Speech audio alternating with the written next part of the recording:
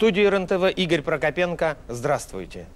Сегодня на нашем канале День документальных расследований. А значит, до самой глубокой ночи мы будем смотреть много документального кино. Серьезного, проблемного, в чем-то даже шокирующего. Например, в проекте «Чечня по ту сторону войны» мы расскажем о том, как принимались решения по вводу войск в Чечню, сколько денег стоила независимость Республики Ичкерия и почему до сих пор засекречены стенограммы телефонных бесед Джахара Дудаева с кремлевскими абонентами. Впрочем, говорить мы будем сегодня не только о войне. Итак, сегодня на нашем канале. Дурман Победы. Стали известны подробности использования тяжелых наркотиков для создания суперсолдат, способных выполнить любые задачи. Пожиратели детей. Почему в последнее время так много преступлений совершается против детей? И почему врачи закрывают глаза на донорские органы, полученные от несовершеннолетних? Воровская масть. Как богатство целой страны могут раствориться в карманах нескольких кремлевских чиновников и воров в законе. Красный Восток. Почему некоторым дальневосточным чиновникам, замеченным в связях с криминалом, удается избежать ответственности? Иные. Закрытая медицинская статистика свидетельствует о том, что человек сегодняшний скоро может оказаться на грани исчезновения. И причиной тому будет не всемирный потоп или ядерная война, а эксперименты спецслужб. Гитлер. Похождение трупа. Последние часы жизни Адольфа Гитлера. Сколько двойников прикрывали уход фашистского вождя и где действительно похоронен самый страшный человек нашей истории. А начнем мы наш день с сенсационной информации о том, что совсем недавно ученые не досчитались двух солнечных лучиков. К сожалению, это не шутка, а уже подтвержденный научный факт, из которого следует, что в скором времени нас ждет резкое снижение солнечной активности.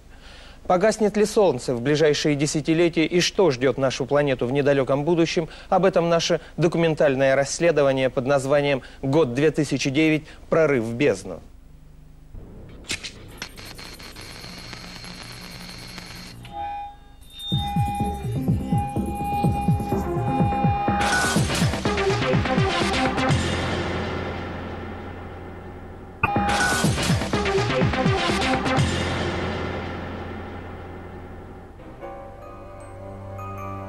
1 августа 2008 года, во время полного солнечного затмения, ученые наблюдают загадочный феномен. Когда лунная тень полностью закрывает дневное светило, исчезает солнечная корона, и Солнце становится похожим на черную дыру. Такого не было никогда за всю историю наблюдений. Астрономы теряются в догадках. Астрологи же уверены, это затмение – знак небес о том, что грядут глобальные перемены. Через 40 дней после затмения, несмотря на протесты общественности, ученые запускают большой андронный коллайдер. Сразу после запуска происходит авария. Те, кто называют коллайдером машины апокалипсиса, уверяют, что его запуск разбудил еще неизученные силы природы и последствия этого непредсказуемы. 18 сентября глобальный экономический кризис достигает своего пика. Рушится финансовый рынок США. Через несколько дней после этого 45-летний миллионер из Лос-Анджелеса Картик Раджаром кончает жизнь самоубийством. Перед тем, как пустить себе пулю в висок, бизнесмен убивает тещу, жену и троих малолетних детей.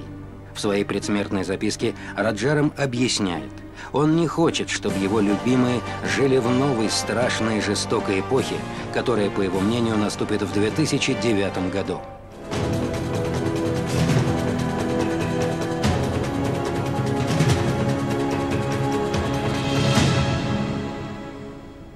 Осенью 2008 года во время обследования московских подземелий двое диггеров находят кожаный портфель. Внутри лежит толстая тетрадь с надписью «Лев Федотов. История будущего». Как потом выяснилось, в руки диггеров попало настоящее сокровище, приоткрывающее тайну наступающей эпохи. До этой находки считалось, что московский пророк, так звали Льва Федотова, оставил после себя только дневник, в котором ему удалось во многом предсказать историю человечества до середины 60-х годов 20-го столетия. Впервые о феномене Федотова сообщил известный писатель Юрий Трифонов. Он не только знал московского пророка лично, но и был его соседом. Они оба жили в знаменитом доме на набережной. 5 июня 1941 года Лева пишет в своем дневнике. «Я думаю, что война начнется или во второй половине этого месяца, или в начале июля, но не позже». Московский школьник с невероятной точностью предсказывает дату начала войны. Войны, в которую не верил сам главнокомандующий Сталин. Федотов делает безошибочный прогноз, как будет проходить эта война. Создается впечатление, что перед его мысленным взором как будто разворачивается карта будущих сражений. Из дневника Льва Федотова. Как это не тяжело, но вполне возможно, что мы оставим немцам даже такие центры, как Житомир, Винница, Витебск, Псков, Гомель. То, что Ленинграда немцам не видать, это я уверен твердо. До тех пор, пока ленинградцы на ногах, город Ленина будет наш. В своих записях Федотов удивительным образом предсказал не только неминуемый крах фашизма, но и начало космической эры, которая последует после окончания Второй мировой войны. Несмотря на свои патриотические чувства, Лев был уверен – Именно американцы первые полетят на Луну, и случится это во второй половине 60-х годов. Сам Федотов утверждал, что в его предсказаниях нет никакой мистики. Он просто анализировал ситуацию и делал выводы. Однако вряд ли можно полностью доверять этому объяснению. Талантливые аналитики действительно могут предсказать многие политические или экономические события. Но для этого в распоряжение специалистов должна быть предоставлена специальная информация. Для военных это данные разведки, для экономистов статистические отчеты и тому подобное. В распоряжении Льва Федотова были только советские газеты, в которых любая полезная для анализа информация нещадно уничтожалась цензурой. На мой взгляд, по своей силе Лев Федотов вполне соотносится с такими ясновидящими, как Ванга или Эдвард Кейси. Но у Федотова было еще очень развито аналитическое мышление, что вообще-то не характерно для ясновидящих. Это позволяло ему делать весьма точные прогнозы в отношении и политики, и технического развития человечества, чем у той же самой Ванги. В конце 30-х годов многими мальчишками из дома на набережной овладела настоящая эпидемия кладоискательства. Вдохновителем этих поисков был Лев Федотов, который мечтал найти в московских подземельях не золото и бриллианты, а легендарную библиотеку Ивана Грозного, хранящую тайну веков. Раскопки команды Федотова закончились находкой ржавой подковы и приводом в милицию горе-археологов. После этого все мальчишки резко охладели и к истории, и к тайнам московских подземелий. Все, кроме Федотова. Лева продолжал спускаться под землю, несмотря на запреты и предостережения. Окружающие думали, что Федотов пытается найти бесценные манускрипты, но на самом деле он, наоборот, старался скрыть то, что одновременно было и сокровищем, и большой опасностью. Каким-то образом Федотов узнал, что коммунистический режим должен рухнуть в конце 20 века. Лев понял, что это знание может подвести всю его семью под расстрельную статью. После этого Федотов решил создать два варианта дневника. Первый, в котором он описывал ближайшие события, мог оставаться дома. Второе, заглавленная «История будущего», Федотов хранил в одной из пещер подземного лабиринта, которую он открыл во время поиска библиотеки Ивана Грозного. Подробно предсказывая, что именно произойдет в будущем, Федотов крайне редко указывал более или менее точное время наступления тех или иных событий. В его истории будущего практически нет указания конкретных дат. Только в одном случае он сделал исключение. Это 2009 год. Лев Федотов пишет, что именно в этом году человечество ждут серьезные испытания, которые могут привести к настоящему Армагеддону. Этот год московский пророк называет «прорывом в бездну». Столь странное название Федотов объясняет тем, что у человечества есть шанс сделать настоящий прорыв в своем экономическом и технологическом развитии. Но, скорее всего, этот прорыв окончится падением в бездну апокалипсиса. И первые знаки грядущих катастроф появятся на небе за несколько месяцев до начала 2009 года, тогда, когда люди увидят черное солнце. 1 августа 2008 года столица Сибири превратилась в настоящий Вавилон. По улицам Новосибирска прогуливались американцы, немцы, итальянцы, японцы. Большинство интуристов носили черные очки и были вооружены различными оптическими приборами. У этого многочисленного иностранного десанта была одна цель – увидеть полное солнечное затмение – Девять лет назад многие из этих туристов оккупировали отели Европы, где лучше всего было видно знаменитое затмение 1999 года. Ажиотажный интерес к тому затмению вызвало предсказание Нострадамуса, сделанное еще в середине 16 века. французский астролог предрек, что в момент затмения с неба придет великий князь ужаса. Исходя из этого Катрена, многие толкователи, да чуть ли не все, предсказывали на лето 99 -го года то Третью мировую войну с участием Советского Союза, арабов, э, китайцев, э, либо конец света, падение какого-то крупного метеорита и так далее.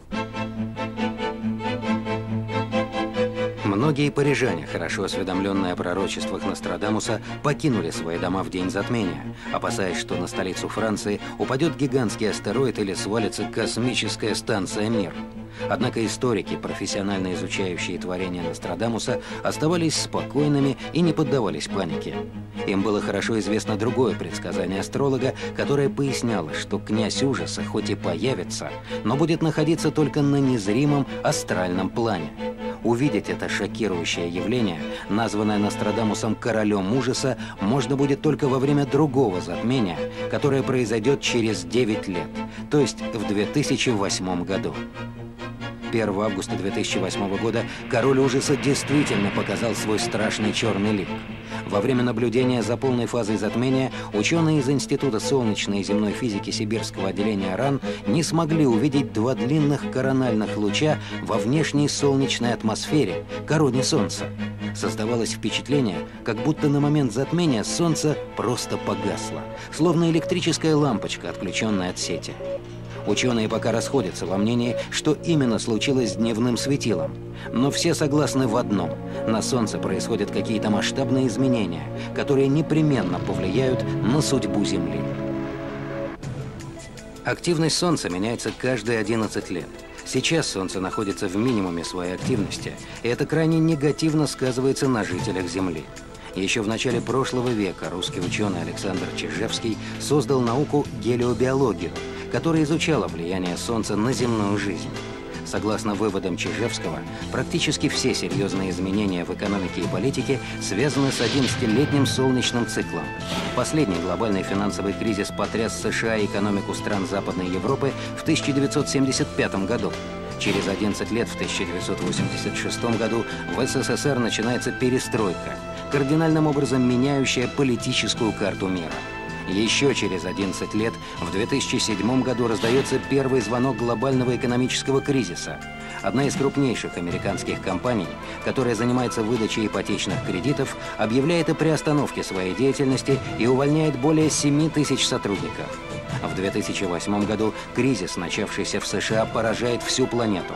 Подробности этого экономического катаклизма были предсказаны Мишелем Нострадамусом. У него целый блок есть Катренов, где предсказывается, что э, из-за слишком большого кредита э, ставки валюты пойдут вниз. Э, из-за слишком большого объема денежной массы цены пойдут вверх. Так что люди будут умирать от голода, имея полные карманы золота. Экономисты и политики спешат успокоить граждан, что до страшных картин, описанных Нострадамусом, дело не дойдет. Они уверяют, что никто от голода умирать не будет, и экономический кризис завершится через год-два, как оканчиваются все кризисы. Однако теория Чижевского опровергает оптимистические прогнозы экономистов. Если все глобальные изменения действительно связаны с солнечной активностью, то Солнце подписало мировой экономике смертельный приговор – по данным ученых, в настоящее время наблюдается не просто уменьшение активности Солнца. Сейчас аномально низкий уровень активности. Возможно, самый низкий в истории человечества. И последствия этого аномального явления могут затронуть каждого из нас не только в плане экономики. В этот период даже здоровые люди подвержены депрессии. А уж если есть еще какие-то отклонения, это может привести к весьма э, разрушительным последствиям. Особенно этому опасному влиянию подвержены, как ни странно, молодые люди. 22 сентября 2008 года финская полиция допрашивает студента Маати Саари. Основанием к задержанию служат видеоролики, которые Саари снял и разместил в интернете.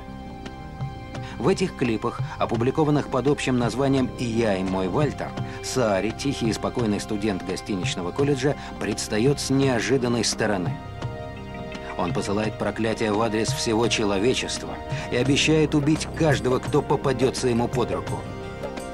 В завершении последнего ролика Саари стреляет в направлении камеры и говорит. You will die next.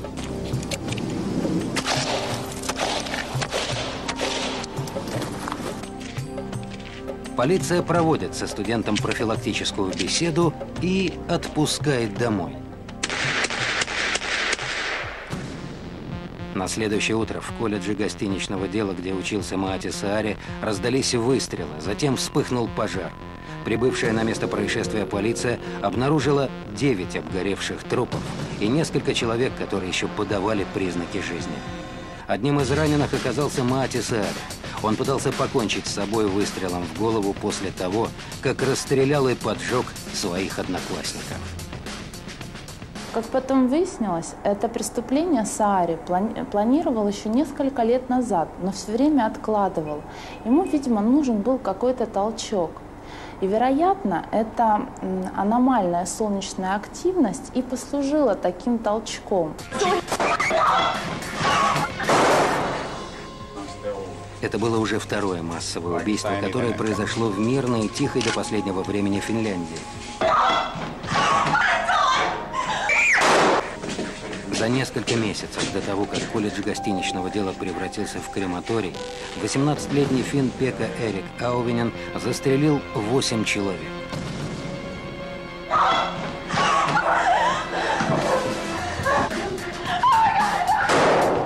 Практически синхронно с этим происшествием по другую сторону океана также учащаются случаи массовых убийств. 27-летний Стивен Казмирчик устраивает кровавую бойню в университете Северного Иллинойса. Он убивает пятерых и ранит 18 человек. Причины, почему бывший студент университета совершил это страшное преступление, так и остались невыяснены. К счастью, Россию миновала эта волна массовых убийств. Однако специалисты предостерегают радоваться рано. Аномальная активность Солнца оказывает на россиян такое же разрушительное влияние, как на американцев или финнов. И последствия этого влияния могут оказаться не менее ужасными. В это время просыпаются, пожалуй, древние доисторические инстинкты. Человек становится животным, хищником, который не знает пощады. Для преступлений на территории России характерна страшная тенденция. Жертвами убийц все чаще становятся дети. Роковой 2008 год начался с того, что в маленьком поселке Красноярского края была убита и изнасилована десятилетняя девочка. В феврале уже в Ленинградской области убита и изнасилована девятилетняя Наташа Рубцова. Затем все новые и новые жертвы. По статистике, составленной правозащитными организациями, количество жертв от рук маньяков исчисляется уже не десятками, а сотнями. Как бы подтверждая эту ужасную тенденцию, на экраны страны выходит фильм «Тот, кто гасит свет», в котором с удивительной реалистичностью показаны ужасные преступления маньяка, убивающего детей. Создатели фильма задумывали его как страшилку, далекую от реальности. А получилось, что кино практически дублировало кровавые кадры криминальных репортажей. В декабре после нового жуткого убийства ребенка официальный представитель Следственного комитета при Генеральной прокуратуре Владимир Маркин сообщает журналистам, в стране идет необъявленная война против детей – к сожалению, о большинстве случаев насилия в отношении детей никогда не узнают ни прокуратура, ни журналисты. Такие преступления всегда остаются в тайне от чужих глаз. Ведь преступники – сами родители, а жертвы – их дети. Родители стали намного агрессивнее относиться к своим детям. Конечно же, влияет солнце. Но не стоит забывать еще о том, что из-за ускоренного развития цивилизации возникает большой разрыв между поколениями и возникает напряжение, которое провоцирует агрессию. Однако существует и другое, более тревожное объяснение происходящего.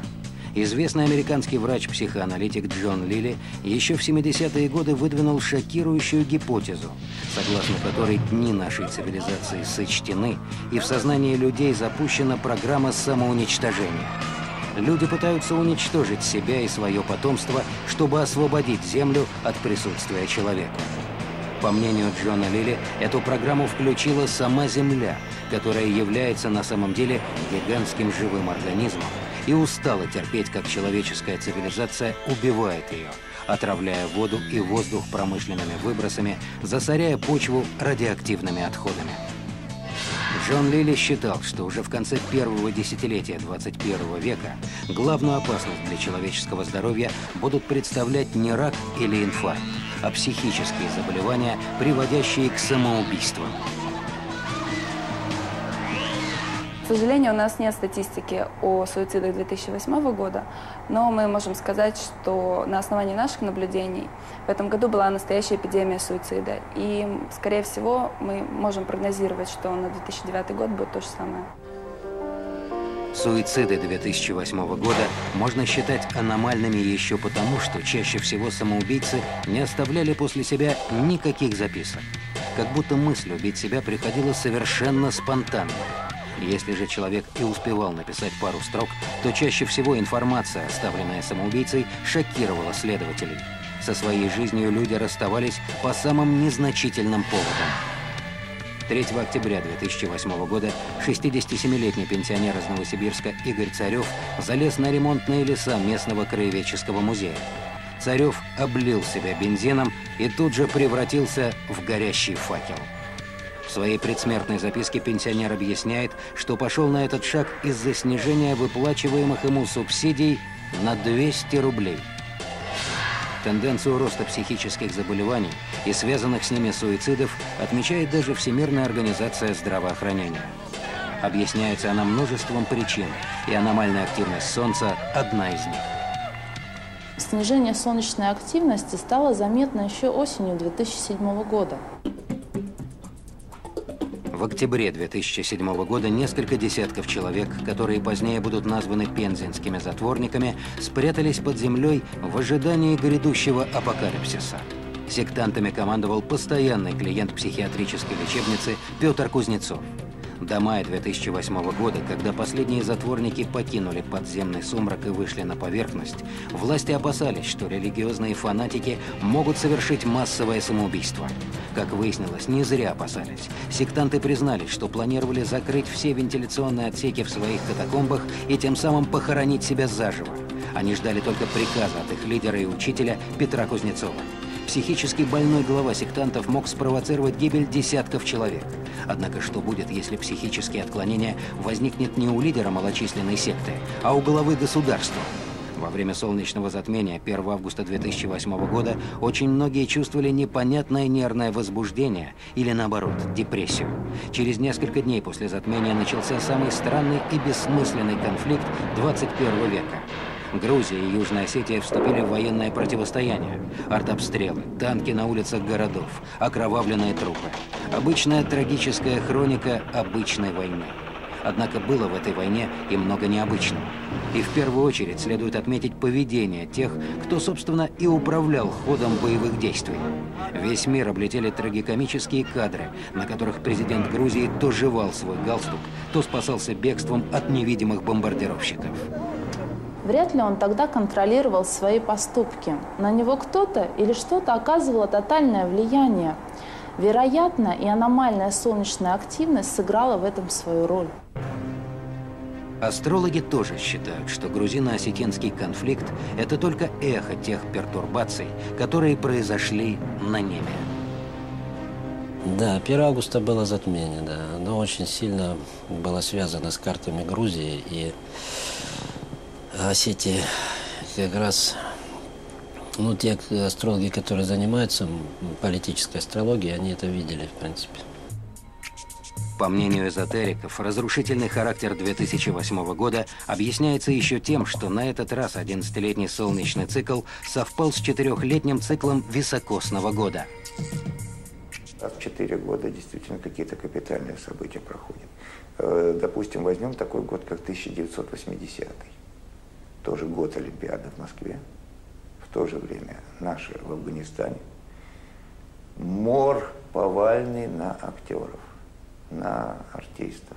И Джо Дассен, и Высоцкий, и Даль, и Басов, и огромное количество других. В 2008 году в мир иной ушли многие люди, которых без всякого пафоса можно назвать национальной элитой. Скорбный список в самом начале года открыл замечательный актер Александр Абдулов. А финальным траурным аккордом была смерть патриарха всея Руси Алексия II. Коса високосного года не щадила ни молодого, ни старого. В этом году ушли от нас и надежда русского хоккея 19-летний Алексей Черепанов и перешагнувший за столетний рубеж гениальный карикатурист Борис Ефимов. Несмотря на то, что високосный год уже позади, эзотерики уверены, будущий 2009 также несет серьезные испытания. Для России э, довольно сложный год будет. Начнется он с каких-то реформ, и действительно сейчас эти реформы готовятся. Э, я бы э, сказал так, что начало года будет э, довольно сумбурным, довольно тревожным. Не исключается падение рубля дальнейшее, в том числе искусственное. Тревогу за свое будущее испытывал и владелец крупной лос-анджелесской аудиторской фирмы Катрик Раджаром. Пытаясь узнать, что готовит ему наступающий 2009 год, Раджаром обратился к астрологу, который уже раньше предупреждал бизнесмена о грядущем экономическом кризисе. Предсказания на 2009 год показались Катрику Раджараму настолько ужасными, что он решил совершить самоубийство. Однако перед тем, как отправить пулю в висок, Раджарам несколькими выстрелами избавил от будущих мучений свою тещу, жену и троих детей. В своей предсмертной записке самоубийца посоветовал всем американцам последовать его примеру. Ведь, по мнению Раджарама, Америку ждет апокалипсис – а российские астрологи во многом согласны со своими заокеанскими коллегами и предрекают Америке серьезные испытания. Плутон будет э, напряженно аспектировать различные планеты в карте Соединенных Штатов, в том числе и Солнце, в течение ближайших лет. Поэтому и кризис, и развитие в этой стране, с другой стороны, они пойдут быстрее, естественно. После выбора президентом США Барака Обамы весь мир заговорил о последнем пророчестве Ванги, которое говорило, что 44-й президент США будет чернокожим, и от его правления Америке не стоит ждать ничего хорошего. Однако за полвека до Ванги судьбу первого чернокожего президента США предвидел московский пророк Лев Федотов, и предсказания его более точны, чем у болгарской ясновидящей. Из истории будущего Льва Федотова – я верю, что угнетаемые в Америке негры получат такие же права, как белые, и чернокожий американец станет президентом США. К сожалению, участь этого президента будет трагична. Его ждет та же судьба, что и 16-го президента США Авраама Линкольна. Он будет смертельно ранен во время покушения. После смерти этого президента Америку ждет хаос и анархия. О неудавшемся покушении на Обаму стало известно еще во время предвыборной кампании. Представители американских спецслужб уверены, что экстремисты непременно повторят свою попытку. С их выводами согласны и те, кто изучают древние тайные знания и прислушивается к космическим ритмам. Очень сочувствуя Бараку Обаме, я все-таки э, склонен как бы беспокоиться, э, потому что как бы он не разделил судьбу Кеннеди. Мы делали расклады карт, мы делали некоторые нумерологические расчеты – Э, в принципе, опасаться есть за что. Король пророков и пророк королей Мишель Нострадамус предсказывал Америке кое-что пострашнее, чем убийство президента или начало гражданской войны. Предсказаниях Нострадамуса Америка упоминается только один раз рядом со словом «антихрист». Там слово «антихрист», «антихрист», а первая строка заканчивается словом «америк». Глава Лондона посредством Америки. Точка. А, Шотландский остров а, затвердеет в мороз. Король-мятежник получит столь лживого антихриста, который всех их вовлечет в схватку. По мнению некоторых эзотериков, будущий антихрист уже появился на свет – он родился накануне солнечного затмения, предсказанного Нострадамусом в 1999 году. И впервые он должен открыться миру, когда достигнет десятилетнего возраста, то есть в 2009 году. В научной картине мира нет таких понятий, как сатана или антихрист. Главную опасность для современной цивилизации многие ученые видят в самой науке – 21 марта в Федеральный окружной суд Гавайев был подан иск, в котором физики Олтер Вагнер и Луис Санчо обвинили создателей Большого андронного коллайдера в попытке устроить конец света. В своем иске физики требовали запретить запуск коллайдера до тех пор, пока не будет гарантирована его безопасность. Примерно в то же время в интернете появились страшные кадры возможной катастрофы, которую должен будет спровоцировать запуск коллайдера. Компьютерная графика позволила каждому желающему увидеть, как погибнет Земля. На границе Франции и Швейцарии, где располагается коллайдер, проваливается почва и возникает черная дыра, которая в считанные секунды проглатывает всю планету. Хотя этот ролик и хорошо поиграл на нервах обывателя, большинство зрителей считали, что все это не более чем фантастическая страшилка. На самом деле, некоторые ученые задолго до появления этого ролика знали, что при запуске коллайдера действительно может возникнуть черная дыра. Идея о рождении черных дыр при столкновении ультрабыстрых частиц, она довольно-таки давно обсуждается. Черные дыры имеются в астрофизике, они есть в природе, их наблюдали. А это большие, гигантские, так сказать, черные дыры размером с Солнечную систему. А здесь идет речь о микрочерных дырах, которые очень-очень-очень маленькие. Как считает большинство ученых, подобные микрочерные дыры не представляют никакой угрозы для человечества. Но есть и другое мнение. Во время судебного разбирательства, вызванного иском Вагнера и Санчо, выяснились шокирующие подробности истории строительства коллайдера. Оказывается, первоначально коллайдер предполагали строить в США, но потом решили перенести его в Европу. Зачем же закрылся, почему же закрылся этот ускоритель? Оказывается, не надо было американцам свое первенство показывать. Там прям написано. Такое официальное объяснение вызывает массу вопросов. С каких это пор американцы стесняются показывать свое первенство? Скорее всего, причина в ином. Осторожные американцы просто не хотели подвергать своих жителей опасности и решили перенести эту бомбу замедленного действия подальше, через океан. 10 сентября 2008 года коллайдер был официально запущен. Конец света не настал. Научный мир ликовал и пил шампанское, однако вскоре коллайдер преподнес первый неприятный сюрприз. Искра короткого замыкания пробила изоляцию системы охлаждения. На уникальное оборудование хлынули тонны жидкого гелия. Большой андронный коллайдер выведен из строя всерьез и надолго.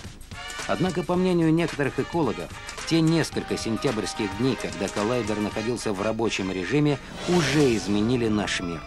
Огромные энергии, которые бушевали в недрах коллайдера, не прошли бесследно для нашей планеты. Специалисты, изучающие экологию биосферы, бьют тревогу. Аномальные зоны после запуска коллайдера стали еще более аномальными. Их активность возросла в десятки раз. Там, где раньше был безопасный для человека электромагнитный фон, а теперь, э, как в микроволновке, опасно для жизни. И в других местах вообще творится всякая чертовщина. Если я буду рассказывать, вы не поверите, лучше видеть самим. Аномальная зона на Урале, так называемый Пермский треугольник, активизировалась в 1986 году после взрыва атомной станции в Чернобыле. Свое название эта зона получила по аналогии с Бермудским треугольником, где нередко бесследно исчезают корабли и самолеты. В этом районе, так же как и на Бермудах, часто наблюдаются НЛО, и нередко происходит сбой высокотехнологичного оборудования. В 2008 году зона отреагировала на запуск коллайдера. В середине сентября Пермский треугольник находился на пике своей аномальной активности – Наши э, коллеги из Уральского центра изучения аномальных явлений обратились к официальным лицам с тем, чтобы те повлияли на руководство аэропорта и приняли дополнительные меры безопасности, но, к сожалению, нас не услышали. 14 сентября 2008 года жители Перми проснулись от страшного взрыва. Прибывшие на место происшествия представители МЧС увидели обломки самолета и фрагменты тел. Спасатели поняли, спасать уже некого. Долгие месяцы расследования крушения Боинга 737 компании «Аэрофлот Норд» не дали внятного ответа на главный вопрос – кто виноват? Но специалисты, исследующие аномальные явления, уверены, что рано или поздно люди узнают настоящие причины этой страшной трагедии. В своей истории будущего Лев Федотов описывает подземную лабораторию, которая будет построена в начале 21 века в горах Швейцарии. Это очень напоминает андронный коллайдер, который был запущен в 2008 году на границе Франции и Швейцарии. По мнению Федотова, в этой лаборатории станут работать ученые из разных стран мира. Они будут уверены, что участвуют в эпохальном эксперименте, открывающем тайны мироздания. Однако Федотов считает, что на самом деле ученые окажутся всего лишь пешками в большой и страшной игре. Из истории будущего Льва Федотова. Тайная корпорация капиталистов и военных будет просто использовать ученых. Первая цель этого тайного плана – поиск новых источников энергии, которые могли бы заменить заканчивающуюся нефть. Вторая цель более зловещая. При помощи подземной лаборатории будет создано оружие более мощное, чем атомное, но свободное от его недостатков. Гигантская энергия будет транслироваться по тонкому лучу и точно поражать цель, оставляя нетронутыми другие объекты. Такому оружию будет под силу как поразить конкретного человека на расстоянии тысячи километров, так и взорвать целую планету, равную по массе Марсу. Далее Федотов пишет, что эта лаборатория заработает в начале 21 века. Первый ее пуск приведет к аварии, после чего лабораторию решат перевести в Россию. Федотов считает, что новая лаборатория будет построена недалеко от Москвы. И это может привести к печальным последствиям. Ведь подмосковная лаборатория будет намного более мощной, чем швейцарская, а значит и последствия вероятной аварии окажутся намного страшнее. Все новые и новые факты подтверждают, что прогнозы Льва Федотова сбываются с удивительной точностью. Недавно появилось сообщение о подготовке к строительству суперколлайдера в подмосковной Дубне. Э, вот длина у него, так, насколько я помню, примерно предполагается где-то 12 километров, а потом до 50 километров. К сведению, длина нынешнего коллайдера меньше 27 километров. Таким образом, суперколлайдер под Дубной будет превосходить своего европейского собрата практически в два раза. Из истории будущего Льва Федотова. Строительство подмосковной лаборатории может начаться уже в 2009 но эта эпохальная стройка останется незамеченной, так как человечество будет занято борьбой с новым бедствием. Эпидемия охватит всю планету. Это смертельно опасное заболевание московский пророк называет новым вариантом испанского гриппа. Что такое испанский грипп или испанка, знали не понаслышке многие современники Льва Федотова. Испанский грипп, поразивший Европу в 1918 году, вызвал самую страшную эпидемию в истории человечества. Еще во время первых случаев заболевания испанкой одна французская газета опубликовала Катрены Нострадамуса, в которых астролог предрекал страшную эпидемию.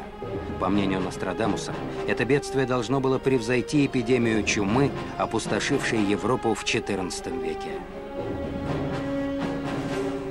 Он пишет о каких-то там невиданных э, поныне бедствиях, но, э, скорее всего, он имеет в виду масштабы. По самым осторожным подсчетам, она унесла жизни 100 миллионов человек. Заражению подверглось более 400 миллионов, то есть каждый пятый житель планеты. По мнению специалистов, масштабные эпидемии гриппа, так называемые пандемии, случаются каждые 30 лет. С чем связана подобная цикличность, ученые спорят до сих пор. Кто-то отстаивает версию, что за это время происходит мутация вируса. Кто-то согласен с основателем науки о Солнце Чижевским и считает, что на вирус влияет активность Солнца. Однако практически все сходятся во мнении.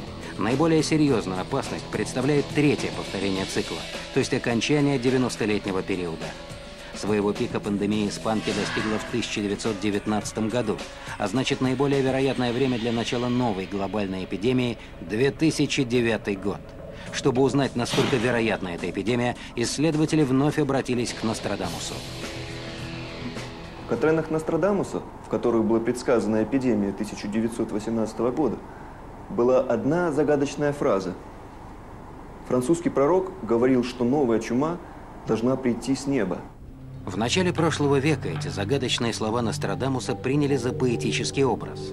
Однако сенсационные открытия 21 века позволяют трактовать эту загадочную фразу буквально.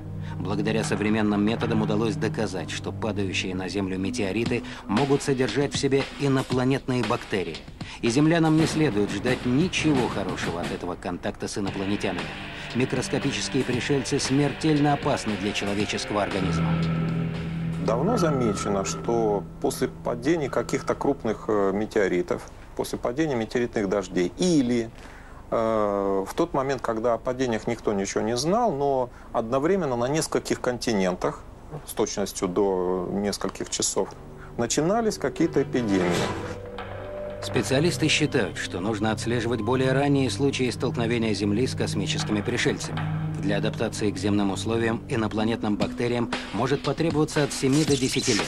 После этого микроскопические пришельцы могут вызывать уже не только локальные вспышки заболеваний, а настоящую пандемию.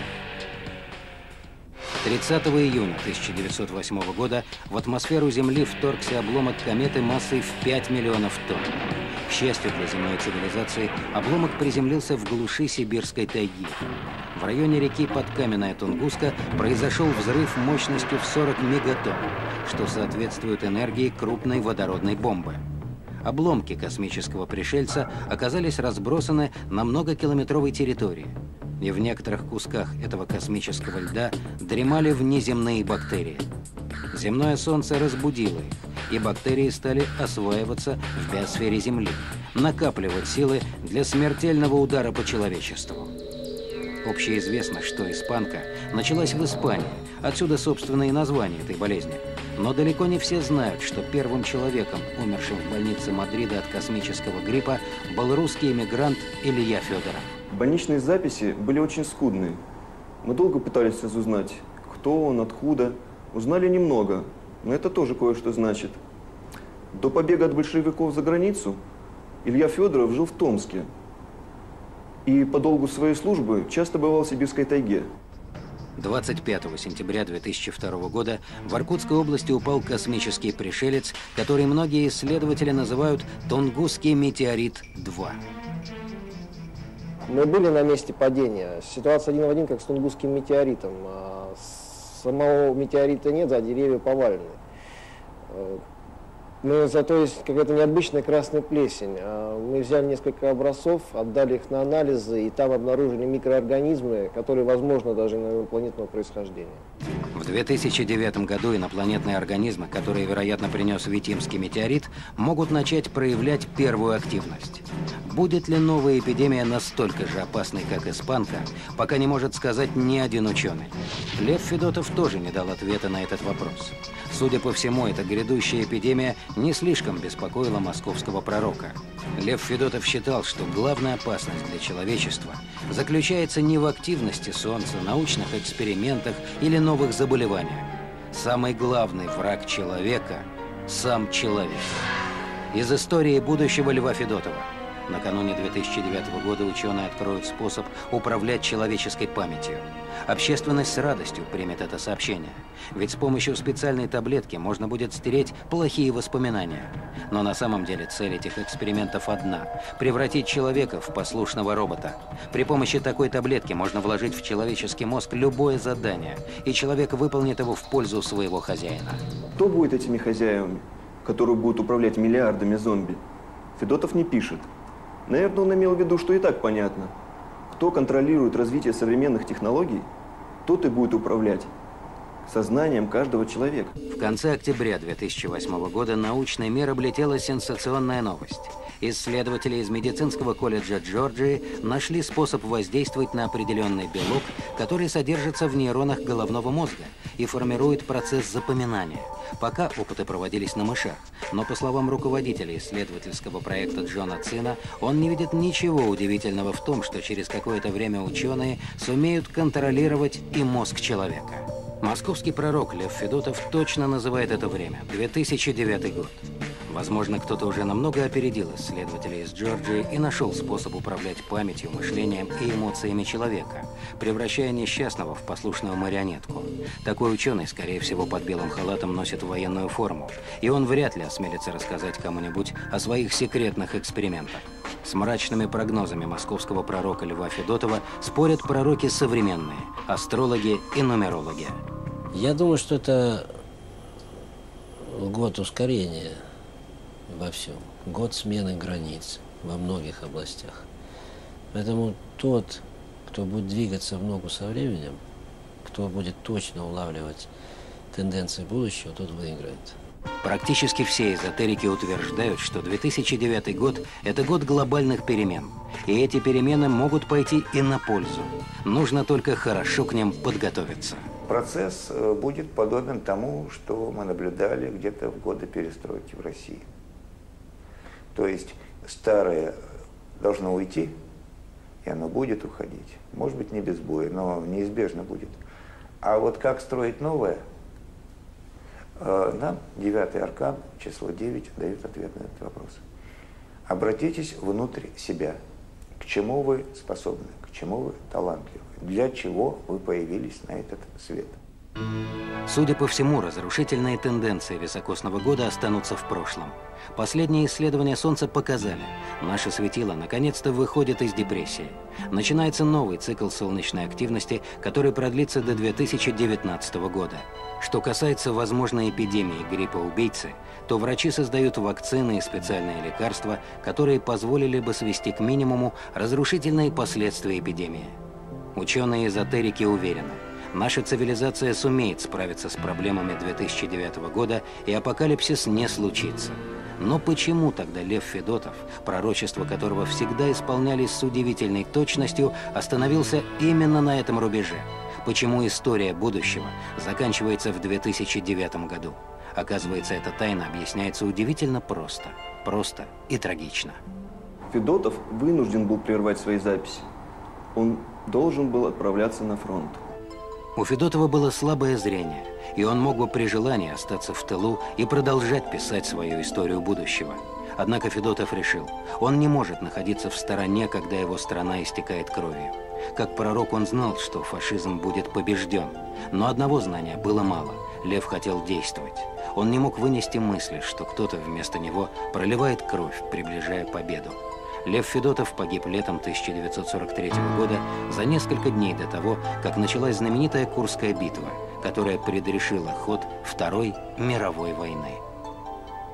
После неоконченной главы о 2009-м Федотов записал еще несколько строк. И эти строки дают ключ к его пророчествам. Федотов пишет, что все его предсказания носят вероятностный характер.